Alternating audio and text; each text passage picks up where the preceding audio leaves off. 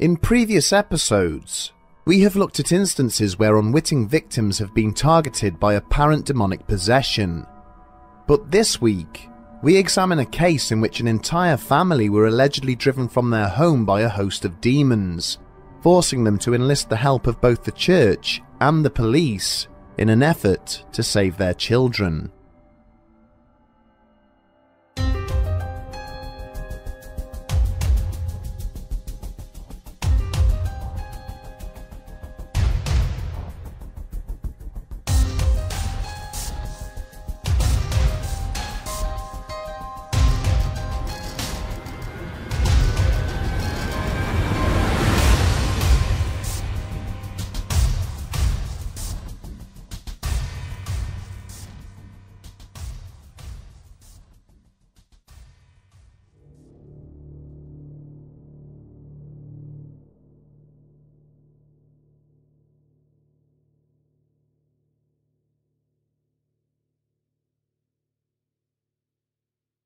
The interview with the children had already taken several hours, and as evening approached, Valerie Washington found herself longing for the end of her working day.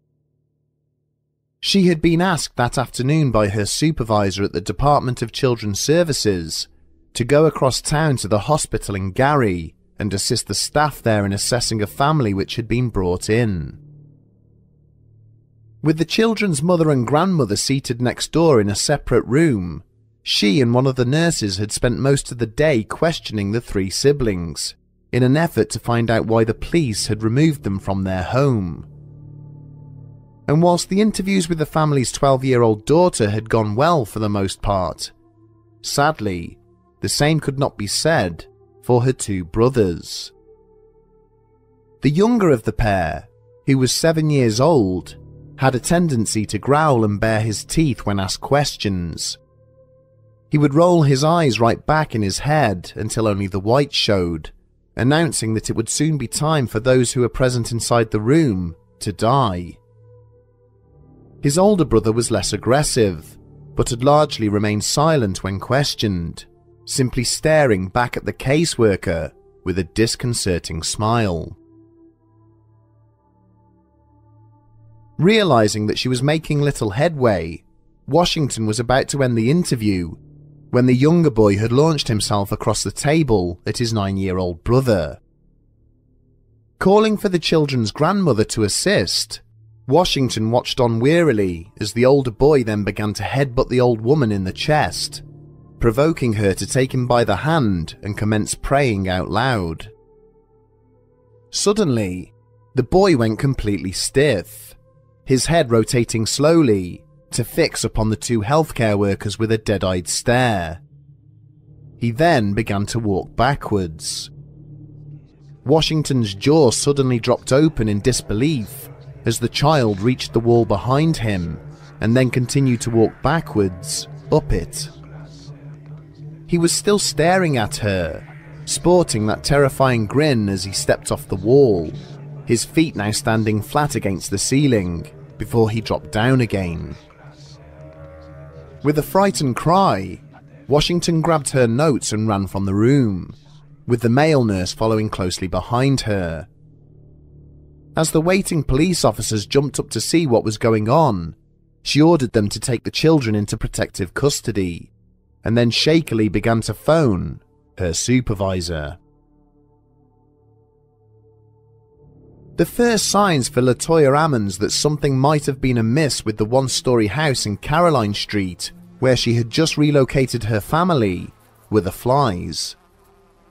The weather in Gary, Indiana in that December of 2012 had been characteristically cold, and yet, after less than a week at the address, she found that the porch area and screen door was somehow permanently carpeted in a thick layer of grossly distended black flies. No matter how many times she tried to kill or remove the dead insects, they quickly returned, causing her to call the landlord and ask for assistance. For his part, he seemed as surprised by the issue as she did, saying that he would get someone to come round and look into the problem. He also stated that nothing like this had ever been reported by any of the previous tenants. Several nights later, Latoya had been sitting in the living room with her mother, Rosa Campbell, when both women had been startled by the sound of loud footsteps, apparently ascending the stairs from the basement below them. Thinking that this could potentially be one of her sons playing a prank, Latoya had gone across to the cellar door and opened it, only to find nobody there. Bewildered, she switched the basement lights on before suddenly recoiling in horror. There on the wooden steps, illuminated by the solitary light bulb shining down from overhead, were a large set of glistening boot prints. Latoya had quickly locked the cellar door and then checked every room in the house to ensure there were no signs of a break-in. All three children were still fast asleep in their beds, with the windows and doors to the address apparently locked and secure. After several minutes, when she went back to check the stairs, the mysterious boot prints had now seemingly faded away. A few days later, officers from the Gary Police Department were called to the address following a frantic 911 call from Latoya when they arrived, they found the tenant hysterical, seated in the living room of the house with her three children hugged close, eyes darting frantically around the room. Latoya explained to the officers that she had arisen in the early hours to get a drink from the kitchen, only to encounter a dark figure standing in her path in the living room. She had cried out in fear as the shadowy intruder had lunged towards her, only for it to fade into nothingness as it made contact with her. Consumed by a freezing sensation and a sudden urge to vomit, she had briefly collapsed to the floor before regaining her senses and managing to call the police. Despite their best efforts, the police officers could find no trace of an intruder either inside the address or its surroundings, and advised the mother of three to try and get a good night's sleep. But as terrifying as these encounters were, they were only the start of the horrific ordeal that was yet to come. Two weeks later, on the evening of March the 10th, 2012, the police were again called to Caroline Street. Once more, Latoya was hugging her children close to her tears streaming down her face.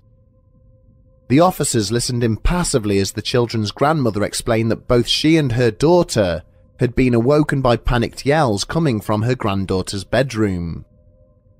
Hurrying through the house, they had found the 12 year old girl levitating several feet above her bed, apparently fast asleep. It had been her brothers who were screaming in distress. Unable to rouse the floating child, Rosa Campbell had immediately ordered the others to join her in prayer, at which point the girl had descended to the bed. She awoke with no apparent memory of the event. It would transpire that the local churches which the grandmother had contacted in the aftermath of this incident were as skeptical as the police officers who had attended.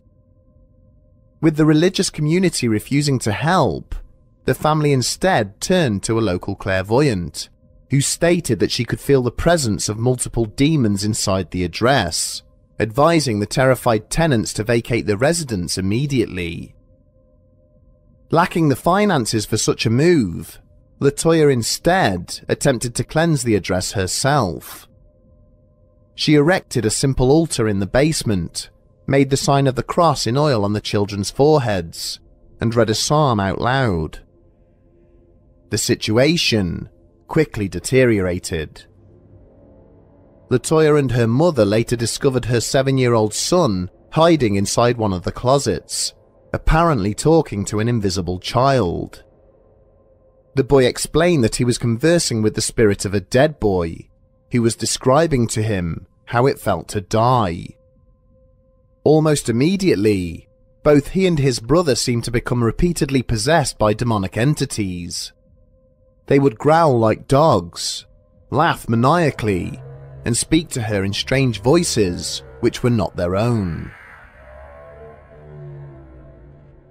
Following an incident where an item of furniture apparently levitated by itself and then flew across the room injuring her daughter, the Department of Children's Services were contacted by a neighbour who had concerns for the safety of the children. It was whilst Latoya and the rest of the family were at the hospital seeking treatment that a caseworker attended to interview them. The meeting did not go well, and when her eldest son apparently became possessed and walked backwards up a wall and onto a ceiling, her children were taken into care.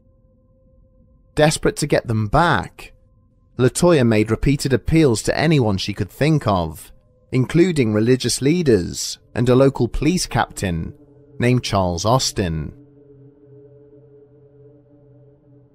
Having worked in law enforcement for around 30 years prior to this case, Austin was initially skeptical of the account given by the hysterical mother. A visit to the family physician, Dr. Jeffrey Onyeukwu, would do little to persuade him of her claims. On speaking with the doctor, he was informed that in all likelihood, the children were acting out delusions suggested to them by their mother's deeply religious beliefs. But the accounts of the social worker and nurse from the incident at the hospital concerned him. Both witnesses were trained professionals, completely terrified by what had taken place there. Accompanied by another officer, along with social worker Valerie Washington, he decided to pay a visit to the family home in Caroline Street. Despite his many years on the force, Austin found himself completely unnerved by the encounter.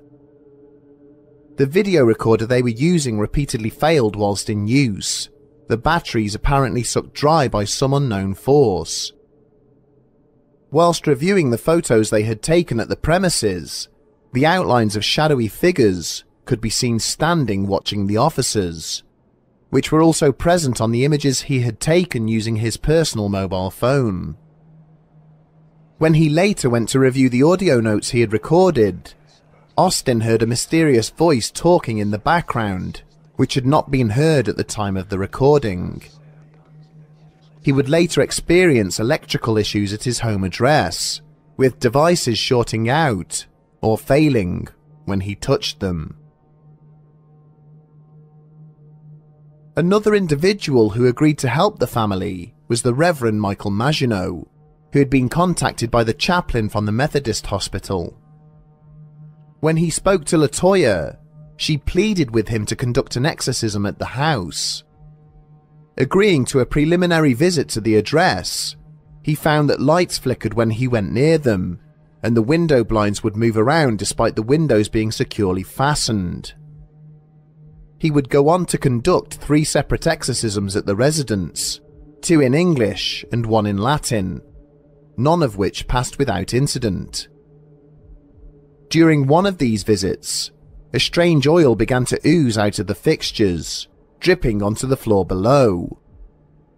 Even after officers cleaned this up and checked that these fittings had not been filled up with oil by Latoya, more of the fluid began to drip from inside.